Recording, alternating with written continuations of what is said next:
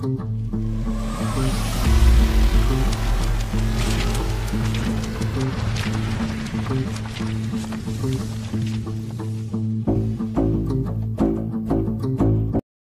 Guys അപ്പോൾ നമ്മൾ orange town ആർക്കിന്റെ review ചെയ്ത് കഴിഞ്ഞു. നെക്സ്റ്റ് വരുന്ന ആർക്കാണ് നമ്മുടെ സിറം വില്ലേജ് എന്ന് പറയുന്നത്. ബട്ട് അതിന് മുമ്പ് നമ്മൾ കുറച്ച് കാര്യങ്ങൾ പറയാനുണ്ട്.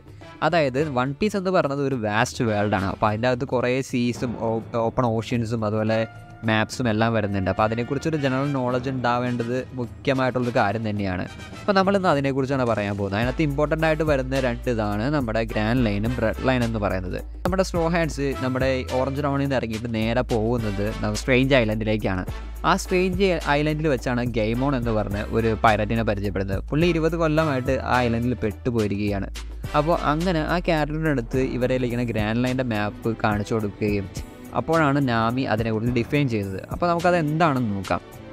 ഈ ഗ്രാൻഡ് ലൈനും റെഡ് ലൈനും ബേസിക്കലി രണ്ട് വാൾസ് പോലെയാണ്. ഇവർ വൺ പീസ് വേൾഡിനെ രണ്ട് പാർട്സ് ആയിട്ട് വേർതിരിക്കുകയാണ്. അതിൽ വരുന്ന ആദ്യത്തെ വാളാണ് റെഡ് ലൈൻ എന്ന് പറയുന്നത്. ഈ റെഡ് ലൈൻ ആണ് ഈ ലാൻഡും അതുപോലെ തന്നെ റോക്സും എല്ലാം കൊണ്ടുള്ള ഒരു വാളാണ് റെഡ് ലൈൻ എന്ന് പറയുന്നത്. അടുത്ത് വരുന്നതാണ് ഈ ഗ്രാൻഡ് ലൈൻ എന്ന് പറയുന്നത്. ഗ്രാൻഡ് ലൈൻ എന്നത് ഒരു സീ റൂട്ടാണ് അതായത് സീ കൊണ്ടുള്ള ഒരു വലിയ ലൈനാണ് ഗ്രാൻഡ് ലൈൻ എന്ന് പറയുന്നത്. അതിന്റെ രണ്ട് സൈഡിലും രണ്ട് സോണുകളുണ്ട്. അവിടെ ഈ കറൻസും അതുപോലെ തന്നെ ഈ കാറ്റും ഒന്നും ഇല്ലാത്ത റൂട്ടാണ് ആ ഒരു സൈഡിലുള്ളത്. പിന്നെ ഉള്ളതാണ് റിവേഴ്സ് മൗണ്ടൻ എന്ന് പറയുന്നത്. ഈ റിവേഴ്സ് മൗണ്ടൻ എന്ന് പറഞ്ഞു കഴിഞ്ഞാൽ റെഡ് ലൈനും അതുപോലെ തന്നെ ഗ്രാൻഡ് ലൈനും കൂടി ചേരുന്ന ഒരു പോയിന്റിനെയാണ് ഈ റിവേഴ്സ് മൗണ്ടൻ എന്ന് പറയുന്നത്. അത് ഒരു ഇൻട്രാക്ഷൻ പോയിന്റാണ് അപ്പോൾ ഈ റിവേഴ്സ് മൗണ്ടിലൂടെ മാത്രമാണ് ഗ്രാൻഡ് ലൈനിലോട്ട് കയറാൻ പറ്റുള്ളൂ. റിവേഴ്സ് മൗണ്ടനിൽ വേറെ വഴികളുണ്ട് ബട്ട് അത് ഓൺലൈനിലേക്ക് എത്തുമോ ഇല്ലയോ എന്നൊന്നും നമുക്കറിയില്ല. അതുപോലെ തന്നെ ഉണ്ടെങ്കിൽ തന്നെ അത് ഭയങ്കര സീനായിട്ടുള്ള വഴികളായിരിക്കും. അതുപോലെ റിവേഴ്സ് മൗണ്ടനിൽ നാല് ഓഷനിൽ നിന്നും നാല് കറൻസ് വരുന്നുണ്ട്. അതിൽ ഓരോന്നും റിവേഴ്സ് മൗണ്ടനിലേക്ക് ഒഴുകുന്നുണ്ട്. അതിൽ ഒന്ന് മാത്രമാണ് താഴേക്ക് ഒഴുകുന്നത്. അത് ഗ്രാൻഡ് ലൈനിലേക്ക് വന്ന് ചേരുകയും ചെയ്യും. ഈ ഒരു കറണ്ട് മാത്രമാണ് താഴേക്ക് ഒഴുകുന്നതായി മെൻഷൻ ചെയ്തിട്ടുള്ളത് ഇതുവരെ. ഈ ഗ്രാൻഡ് ലൈൻ എന്ന് പറയുന്നത് റെഡ് ലൈൻ ഒരു പെർപെൻഡിക്കുലർ ആയിട്ട് നിൽക്കുന്ന ലൈനാണ് അപ്പോൾ അതുകൊണ്ട് തന്നെ രണ്ട് ടൈംസ് ഈ ഗ്രാൻഡ് ലൈൻ റെഡ് ലൈനെ ക്രോസ് ചെയ്ത് പോകുന്നുണ്ട്. ഈ രണ്ട് ക്രോസ് ചെയ്യുന്ന പോയിന്റ്സും റെഡ് ലൈനിൽ രണ്ട് പാർട്സിനായിട്ടുണ്ട് ആ രണ്ട് പാർട്സ് നാലായിട്ട് നാല് ഭാഗമായി മാറിയിട്ടുണ്ട്. ഈ നാല് ഭാഗങ്ങളെയാണ് ഈസ്റ്റ് ബ്ലൂ എന്നും വെസ്റ്റ് ബ്ലൂ എന്നും നോർത്ത് ബ്ലൂ എന്നും സൗത്ത് ബ്ലൂ എന്നും ഒക്കെ പറയുന്നത്. സോ ഈ ഗ്രാൻഡ് ലൈന്റെ മറ്റൊരു ഭാഗമാണ് കാം ബെൽസ് എന്ന് പറയുന്നത്. അപ്പോൾ നമ്മൾ ഏതൊക്കെ വഴിയിലൂടെ നമ്മൾ എങ്ങോട്ട് ചെന്ന് കയറാൻ നോക്കിയാലും ഈ ഗ്രാൻഡ് ലൈനിലേക്ക് വന്ന് കയറാൻ നോക്കിയാലും ഒരിക്കലും പറ്റില്ല. എത്ര സ്ട്രെയിറ്റ് ആയ വഴിയിൽ വന്ന് നോക്കിയാലും നമുക്ക് ഗ്രാൻഡ് ലൈനിലേക്ക് കയറാൻ പറ്റില്ല. അത് കയറണമെങ്കിൽ നമ്മൾ റിവേഴ്സ് മോഡിലൂടെ തന്നെ വരേണ്ട വരും.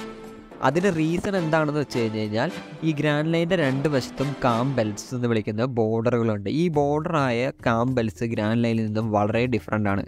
അതായത് അവിടെ കാറ്റൊന്നുമില്ല. അതുപോലെ തന്നെ ട്രാവൽ ചെയ്യാനുള്ള ഒരു കറണ്ടോ ഒന്നുമില്ല. അപ്പോൾ അതിലൂടെ ട്രാവൽ ചെയ്യാന്ന് പറഞ്ഞാൽ അസാധ്യമാണ്. അതുകൂടാതെ ഈ ഒരു സ്ഥലത്താണ് ഈ നാല് ബ്ലൂസും വന്നു ചേർന്ന ഒരു സ്ഥലം. അവിടെയാണ് ഈ സീക്കിങ്സ് എല്ലാം താമസിക്കുന്നത്. ഈ സീക്കിങ്സ് എന്ന് പറഞ്ഞാൽ മോൺസ്റ്ററസ് ആയിട്ടുള്ള സ്ത്രീ ക്രീച്ചേഴ്സ് ആണ്.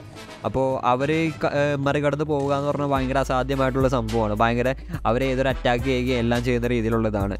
സോ ഇത്രയുമാണ് വൺ പീസ് വേൾഡിലുള്ളത് അതായത് ഈ രണ്ട് ലൈനിൽ കൂടെ മൊത്തം നാല് സെക്ഷനാണ് ഈ വൺ പീസ് വേൾഡിലുള്ളത് അതിൽ റെഡ് ലൈൻ ലാൻഡ് കൊണ്ടുള്ള ഒരു ലൈനും അതുപോലെ ഗ്രാൻഡ് ലൈൻ എന്ന് പറയുന്നത് ഈ സ്പെഷ്യൽ ആയിട്ടുള്ള ഓഷ്യൻസ് കൊണ്ടുള്ള ഒരു ലൈനും ഈ വൺ പീസ് ഉള്ളത് ഈ ഗ്രാൻഡ് ലൈനിലുള്ള ഒരു ചെറിയ ഐലൻഡിലാണ് ഇപ്പോൾ ഈ ഗ്രാൻഡ് ലൈനിലോട്ട് എന്റർ ചെയ്യാൻ വേറെ സീ റൂട്ട്സ് ഒന്നും പറ്റില്ല. സ്പെഷ്യൽ പോയിന്റ്സ് ആയ റിവേഴ്സ് മൗണ്ടനിലൂടെ മാത്രമേ പറ്റൂ.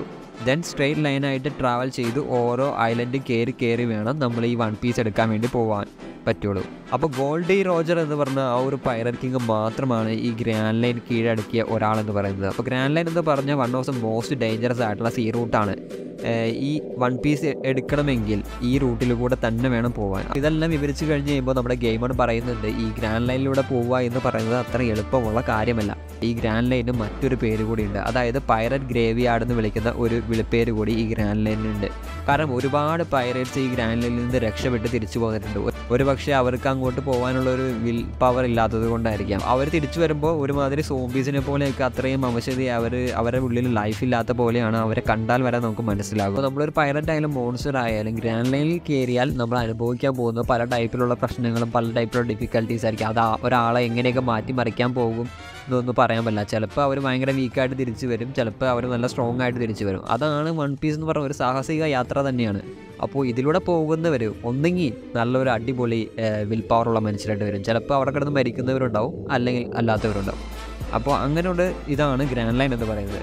അപ്പോൾ വൺ പീസ് എടുത്ത് ജീവനോടെ തിരിച്ചു വരിക എന്നത് നിയർലി ഇമ്പോസിബിൾ ആയിട്ടുള്ള കാര്യമാണ്. ആ ഒരു ഡ്രീം അച്ചീവ് ചെയ്യാൻ വേണ്ടിയാണ് നമ്മുടെ ലൂഫി ഇറങ്ങിത്തിരിക്കുന്നതും ലൂഫിയും എല്ലാവരും കൂടി ഇറങ്ങിത്തിരിക്കുന്നത്. അപ്പോൾ ഗ്രാൻഡ് ലൈനെ കുറിച്ച് കേൾക്കുന്നത് എല്ലാം ഒരു റൂമറാണോ ശരിയാണോ എന്നൊന്നും നമുക്ക് പറയാൻ പറ്റില്ല.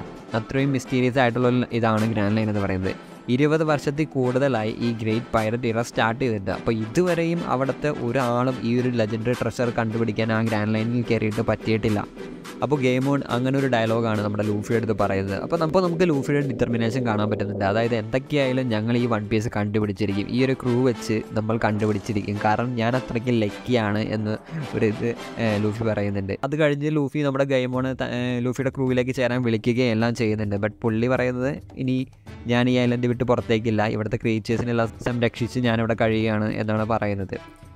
അപ്പോൾ ഇതോടുകൂടി നമ്മുടെ ഈ ഒരു മിസ്റ്റീരിയസ് ഐലൻഡ് കഴിയാണ്. ഇനി അടുത്ത് വരുന്നത് നമ്മുടെ സിറം വില്ലേജ് എന്ന് പറഞ്ഞ സ്റ്റോപ്പാണ് സോ നമുക്ക് അടുത്ത വീഡിയോയിൽ സിറം വില്ലേജ് ചെയ്യാം.